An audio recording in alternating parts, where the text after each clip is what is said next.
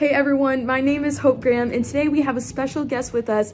She's going to be sharing us her opinion on her graphic design professors and I thought it'd be interesting to get a opinion on a student and a very detailed one and so we're able to see what the professors are like not just from the professor standpoint which we'll, we will get into but I thought it'd be cool before we dive into that to interview the students and see what they thought of the professor.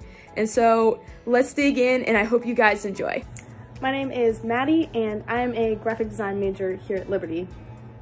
My favorite graphic design teacher, I'm really new to this, so I haven't had that many teachers, but I really do enjoy Professor Schneider because she's super knowledgeable um, about all the programs that she does, like all the Adobe programs, and she's very, very helpful.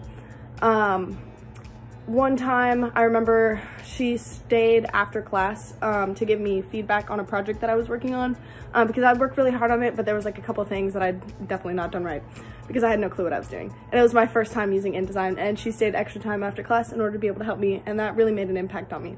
What do you think is the hardest thing about being professor if you were in their shoes?